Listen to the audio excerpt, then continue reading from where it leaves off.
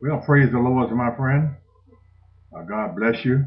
This is Minister Hill, and today I want to talk about earthquakes uh, come from God. But before I get into my message, a little hymn goes like this. Here's my cup, Lord.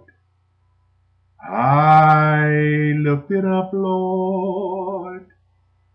Come and quench this thirsting of my soul. Bread of heaven, feed me till I want no more. Here's my cup, fill it up and make me whole. Hallelujah. Well, praise God for another day. And thanking God for you too, and thanking God for all of you that's watching me. And a lot of people don't know, and a lot of people perish because of the lack of wisdom and knowledge. So to give you a little knowledge, earthquakes come from God. In the beginning, God created the heavens and the earth. And the earth was without uh, form and it was void, it was empty. So if God created the earth, he surely can make it shake and make it split. And not only that, he's going to uh, uh, rumble the sky one day and split the sky and come back and get Robert Hill. Now, I don't know about you, but I know he's coming to get me. This is why I'm doing what I'm doing now on YouTube so that I can go and be with the Lord one day. Amen. So once again, we're talking about earthquakes come from God. Yes, God is a good God and a merciful God. Yes, He is love and He is tolerant and long suffering with His rebellious people. But as His cre creation, He wants all of us to obey Him. And He has set forth ten commandments, only ten, for us to live by. And we as a people disobey his ten commandments, such as in the book of Exodus, the 20th chapter and verse 3. Thou shalt have no other gods before me. Did y'all hear that? See, when you go against the Ten Commandments, you can expect the wrath of God to be poured out on that person, on that nation of people. Because you should not uh, uh, go against his Ten Commandments. When people, when people that God have created worship other gods, such as Buddha or any other type of statue this caused God to become angry. And God is a terrible God, and he will pour out his indignation down upon earth. In the book of Psalms, the 66th verse, the 66th chapter, and the 5th verse, come and see the works of God.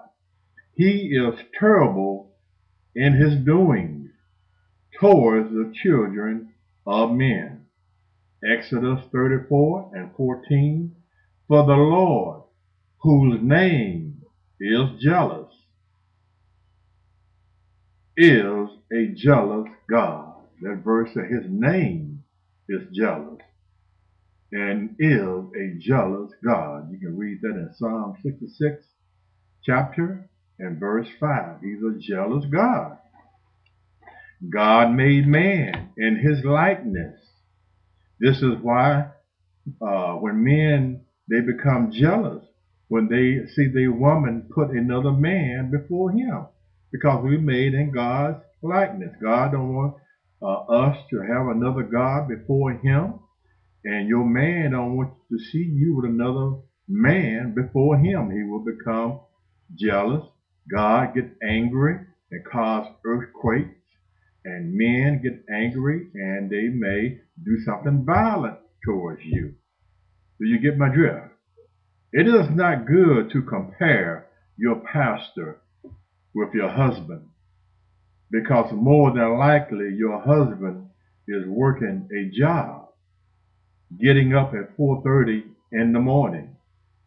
And the last thing he wants to hear is his woman boasting about a preacher.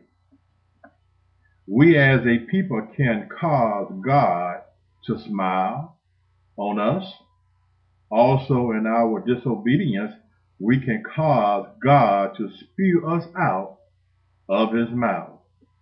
When a multitude of people in other countries worship a statue, God will open the mouth of the earth and swallow them up. You are useless to God when you serve a statue or any other idol or worship a human being.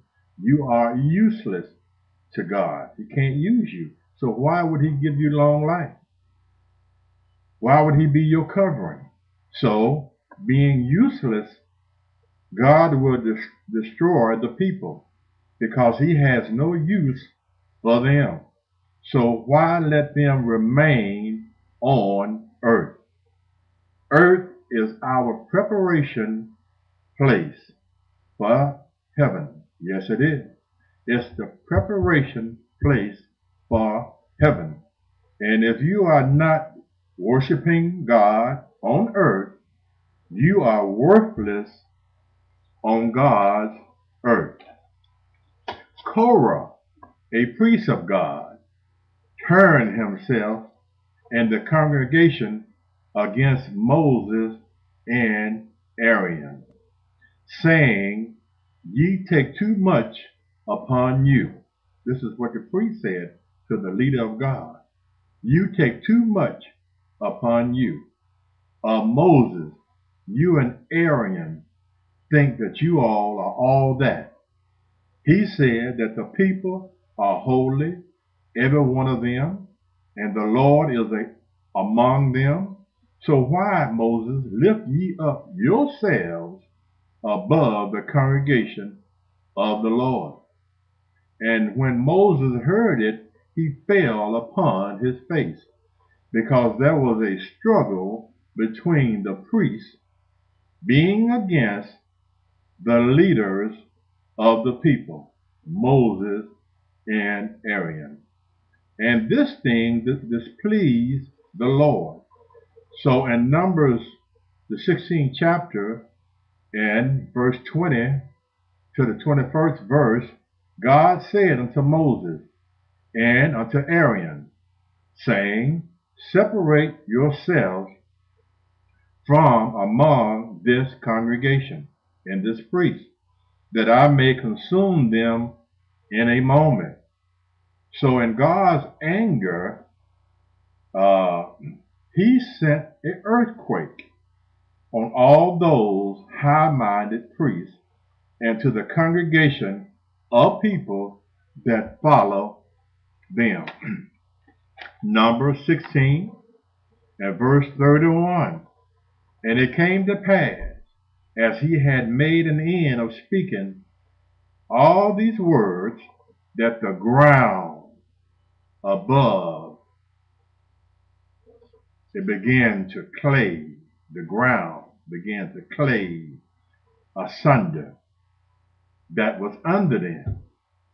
We get ready to go to part two in a few minutes. But the ground, in God's anger, he caused the, the ground to clay and to, uh, uh, to become asunder under them. That caused an earthquake, my friend. When when it shakes, because it, when the earth shakes,